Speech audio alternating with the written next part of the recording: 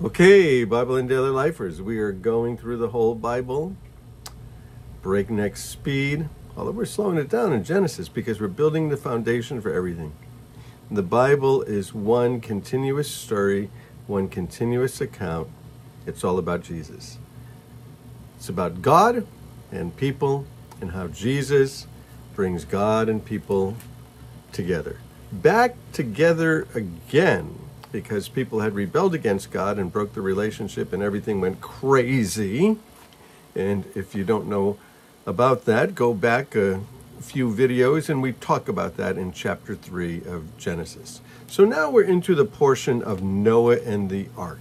Now, this story is disputed by quite a few people. They don't particularly think it happened. Well, it definitely happened, and we'll talk a little bit about that, and we'll see how it's totally feasible that it happened chapter 6, verse 1. When human beings began to increase in number on the earth, and daughters were born to them, the sons of God saw that the daughters of humans were beautiful, and they married any one of those they chose. And the Lord said, My spirit will not always contend with humans forever. They're mortal. Their days will be a 120 years. Does that mean that their longevity would only be 120 years? Or does it mean 120 years from now, humanity will cease when a judgment of God comes upon the earth? Either way. Verse 5 The Lord had seen how great the wickedness of the human race had become on the earth, that every inclination of the thoughts of the human heart was evil all the time. The Lord regretted it. There was violence on the earth. And so here we are. Jesus in Matthew 24 said something interesting. People were asking him about the coming of the Lord and when would he come back and what would be the signs of his coming and what is the end of the world. And Jesus said, as it was in the days of Noah. Now, people have loved to speculate about that days of Noah's statement. What did he mean by that? Are we in days that are like the days of Noah? Could be. I happen to think that the times that we're in are very much like as in the days of Noah. Uh, for instance, well, uh, the verse we just read, chapter 6, verse 1, it said, When the population began to multiply, began to explode.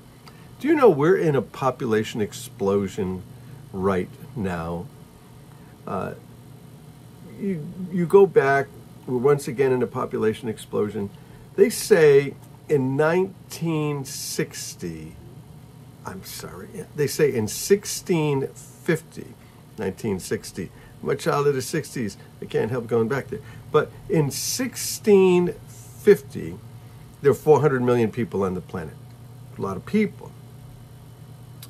But it took all the way from Noah's day, when Noah comes out of the ark, to our day to get 400 million people. Well, to 1650, 400 million people.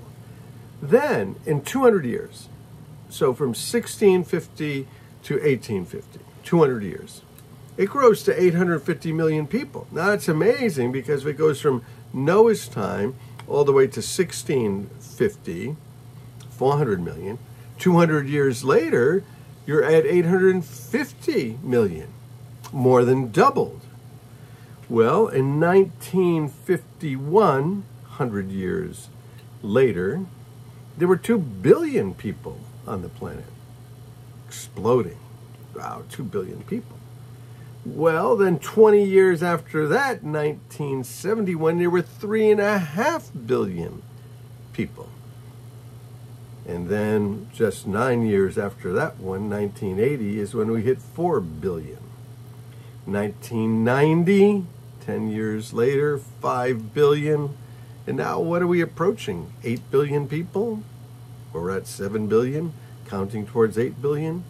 So, as it was in the days of Noah when people were multiplying upon the face of the earth, Jesus is talking about the time that he would return. So, the other thing that we just read here in chapter 6 is that in the days of Noah, it was a sex crazed, sexually creepy environment. And so that says they saw the beauty of women and they went and just took whatever that woman they wanted to be. And it appears there's some kind of abnormal depravity that's going on in men dominating women. Could be the same. Verse 2 it seems as though marriage was held in low regard. Just went out, got whoever they wanted, uh, took the woman that they chose. You know, where's romance? Where's love? Where's attraction? Where's building a family? And so, also, as you go back just a little bit before chapter 6, before chapter 5, and you see the development of civilization, because you, in the book of Genesis, we have, find the beginning of everything and firsts in everything. Well, what you find is that there's rapid changes and there's rapid advances in technology. And it tells us in those chapters that that's when people began to work with metals. That's when people began to work with arts and with crafts, where agriculture was becoming somewhat sophisticated. And now there's architecture and there's starting to be cities. And rapid change can desensitize you. And it seems like in Noah's day, people were desensitized. Well, rapid technology around us can desensitize us, and it seems like people are getting desensitized, as it was in the days of Noah. It goes on and it says at uh, Matthew 24 that there was an appointed time of judgment looming. Well, that's what we just read in verse 3 in chapter 6, that judgment is looming. I think it's the 120 years from then that judgment comes. A time when people are fighting with God, striving with God. You go on and it seems that in verse 4 of Genesis, there's some weird activity, maybe some satanic activity. Some people think that what's being referenced there, the sons of God, are, are demons, and some think that it's demon possessed people. Uh, well, whatever, it produced some odd offspring, and maybe we're in a time where we're seeing some of that. Verse 5, it seems to indicate that there's global wickedness. Well, now we are global like never before. And in some ways, being global works for us. We're in a global economy, we're in global travel. You can travel anywhere you want. Just go to a major city, go to an airport, go wherever you want. We're a global community. Well, there's global wickedness. It's not that there's any patches of you know, people who are holding upright moral standards higher than anybody else. Everybody seems to be degrading together. Some places are better than others, but it's catching up everywhere. Verse 5 in chapter 6, you know, personal wickedness is at an all time high.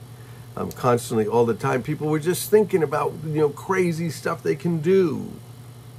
You know, verse 5, all of this breaks God's heart, which means that God has feelings, and the Lord's heart was grieved. Uh, verses 7 and 8 tells us, you know, that God is a God of justice, and he's going to judge. And so, in the midst of that, in the days of Noah, are we in the days of Noah? Is this like the days of Noah? What happened in the days of Noah? Well, there was a lone man, Noah, who finds grace in God's eyes. I love that. In the midst of all of the violence, in the midst of the population explosion, in the midst of this sex crazed society, in the midst of this society where marriage is held in, in disdain, where there's rapid technological changes that are desensitizing people and you can't keep up with it when the time of uh, looming judgment in their satanic activity and global wickedness and personal wickedness is at an all time high and God's heart is broken, he finds somebody, shows grace, and they follow him. They follow him. Uh, Noah, he lives among the people of his times, uh, much like Moses and Daniel and Jesus and John the Baptist and you know, it's possible to be brought up in a fully entrenched, wicked society, not compromise, and not compromise. It tells us in verse 11 of chapter 6 that the earth was filled with violence. Well, you know, the 20th century may have been the most violent ever. You had Joseph Stalin and the Cultural Revolution in China and the Holocaust and Khmer Rouge and World Wars and Vietnam and Idi Amin and Rwanda, and civil wars all over the place, universal violence. People had corrupted themselves, but there's a way out. Sometimes Jesus is seen as the ark. You go into the ark, and there you're safe. You're safe in the storm. You're safe from judgment. Jesus, we want to enter your. So, Lord Jesus, we do want to enter your ark. We want to come into the place of safety. We want to come into the place of salvation. We want to come into the place of deliverance. We want to come into the place where, even in the midst of the storm and even in the midst of our personal storms, we are safe with you, and you will protect us from the storm, and you will give us a whole new beginning. In Jesus' name. Hey, love you guys. We'll continue going through the Bible. The Bible, the whole Bible, nothing but the Bible. Bless you.